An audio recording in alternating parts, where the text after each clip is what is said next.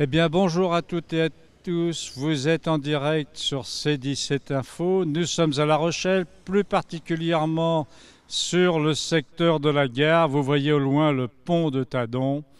Et donc euh, aujourd'hui, nous sommes avec des représentants de l'association de comité de la gare de Saint-Nicolas et puis de, de Gabu, voilà.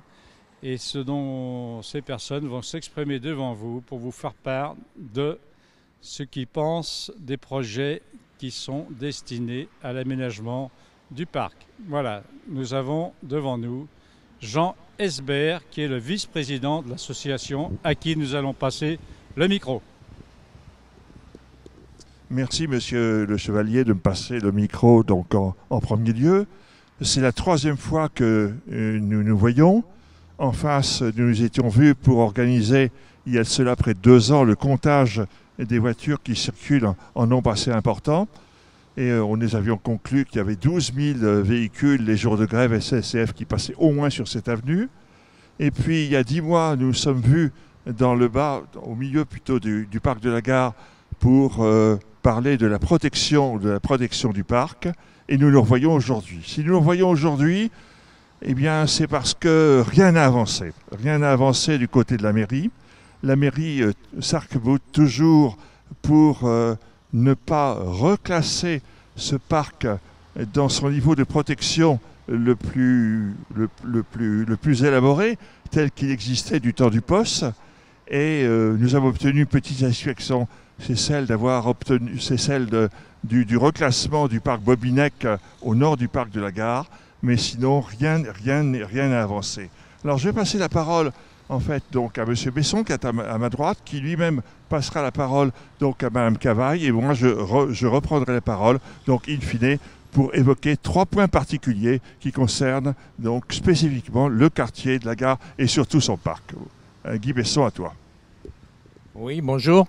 Euh, donc nous, notre inquiétude ici, c'est la descente de, que l'on voit là derrière, devant vous. C'est la suppression. Il y a un projet de suppression cette descente, avec la suppression euh, des, des, arbres, parce que les arbres ne tiendront pas si on décaisse cette descente-là. Et en plus, euh, on commence à avoir des, idées qui viennent avec soi-disant un hôtel qui serait construit à cette place de cette descente pour euh, faire un hôtel 5 étoiles, euh, ce qui nous paraît un petit peu bizarre comme idée pour faire avancer les choses. Donc ça dénaturerait tout le quartier. Je passe la parole à Martine. Oui, je voudrais revenir sur euh, le classement du parc euh, Alsace-Gare en espace boisé à conserver. Nous avions fait cette demande euh, à la mairie dans le cadre du plan local d'urbanisme intercommunal. Nous l'avons refait dans le cadre de la deuxième enquête publique sur le quartier de la gare. Et la CDA nous refuse ce classement au motif que un, classement en espace boisé à conserver interdirait de faire des aménagements dans, ce parc. Il ne serait plus possible de créer des aires de jeu, d'installer des bancs euh, ou de euh, faire d'autres aménagements. Euh, or, nous avons étudié au comité de quartier le code de l'urbanisme et euh, cette affirmation est fausse, c'est un argument qui ne tient absolument pas la route. Le Code de l'urbanisme permet de faire des aménagements dans euh, un espace boisé à conserver.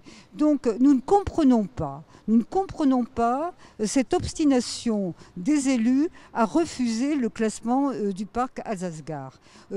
D'autant que les aménagements que l'élu écologiste veut euh, installer dans ce parc existe déjà. déjà. Il y a une aire de jeu pour enfants, il y a des bancs publics et il y a une piste cyclable.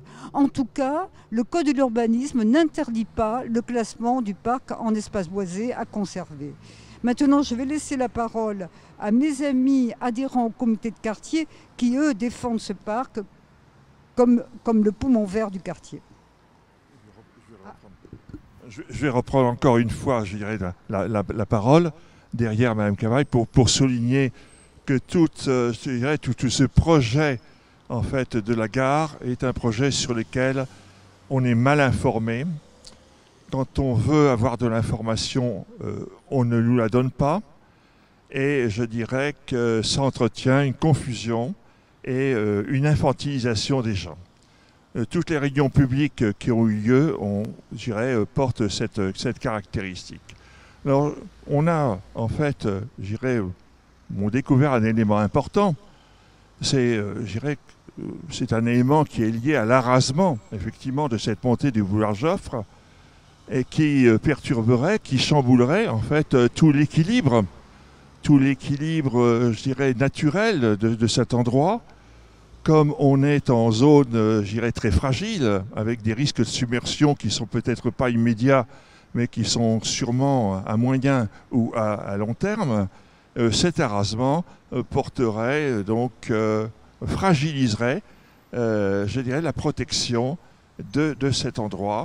Nous nous sommes ouverts euh, au préfet qui nous a répondu euh, très très longuement à cet effet. euh, pour tout simplement dire que dans le plan de protection contre les risques de submersion, eh bien évidemment, l'arasement du boulevard Joffre n'avait pas été donc intégré et que tout reste donc à, faire et tout reste à considérer, tout reste à justifier le jour où on aura besoin de faire cet, arasement. Donc ce sont des éléments extrêmement importants et je dirais qu'il faut absolument que les Rochers soient au courant que le projet qui leur est présenté n'est pas un projet complet. On leur donne l'information par petits bouts. D'ailleurs, on la donne plus aux journalistes, que ce soit Sud-Ouest ou même Bré à la Une, mais on ne la donne pas aux habitants du quartier. Voilà. Je vais passer la parole donc à nos amis qui sont ici, qui font partie du comité de quartier, qui ont des, euh, opinions euh, beaucoup plus spontanées que les nôtres à euh, exprimer.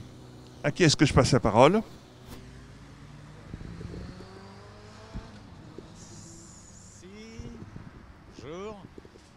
Ben, je pense qu'à côté du béton, non. Je crois qu'il faut garder la, notation écologique et humaine aussi de ce parc, qui est quand même un rempart contre les risques naturels. Hein, que ce soit la pollution, les, risques de submersion. Non, je pense que les arbres, ils ont leur rôle. Et je pense que pour élargir un petit peu la vue, c'est eux qui nous observent. Nous, nous sommes juste les hôtes dans la forêt. Voilà. Voilà, ben moi je suis tout à fait d'accord évidemment avec, tout ce qui vient de se dire. Euh, la suppression des arbres serait une erreur totale puisque nous sommes euh, maintenant euh, dans une période où on connaît très bien le problème du réchauffement climatique, euh, où on plante des arbres dans certains pays maintenant, on ne va pas non plus en, parler pendant deux heures, mais tout le monde le sait, on est suffisamment informé qu'aujourd'hui la suppression des arbres c'est une aberration totale. Donc nous demandons à ce que ce parc soit classé en EBCC, et que ce boulevard soit évidemment euh, préservé également parce que des constructions ici, c'est impensable. Voilà. Donc nous donnons notre avis aussi. Euh, et maintenant, je passe la parole à qui veut parler. Jean-Philippe. Allez, Jean-Philippe. Donc bonjour, je suis Jean-Philippe Faury, je suis un habitant du quartier. Euh, je pense que je suis quand même assez, connu dans ce quartier. Et euh, ce, parc a une, revêt une, importance particulière pour moi parce que j'ai grandi dans ce parc et avec euh, beaucoup de, camarades de, l'époque qui habitaient également ce quartier, qui habitaient la résidence Alsace, nous avons joué dans ce parc. Et bon, c'est vrai que c'est un parc qui, qui est quand même auquel les habitants du quartier sont, sont très attachés. Alors j'avais fait un, un mémoire lors de la commission d'enquête euh, qui démontrait un petit peu la valeur esthétique et paysagère euh, du quartier. Euh, de, de, ce parc plutôt. Et je m'étais aussi un peu intéressé au problème d'accessibilité du quartier en, m'intéressant notamment au rôle, au rôle, au rôle du, boulevard qui, permettait, qui permettait à toute la, toute la circulation de, passer dans le quartier.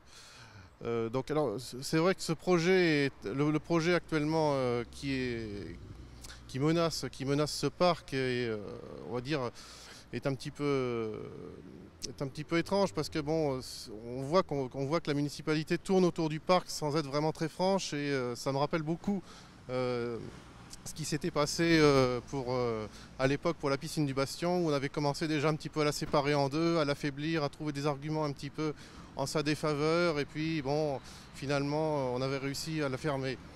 Donc je pense que ça serait quand même... Euh, nous n'avons pas réussi à l'époque à, sauver la piscine du Bastion et ça serait, ça serait à mon avis très bien que nous arrivions à, garder cette fois ce parc et euh, à le sauver de la promotion immobilière.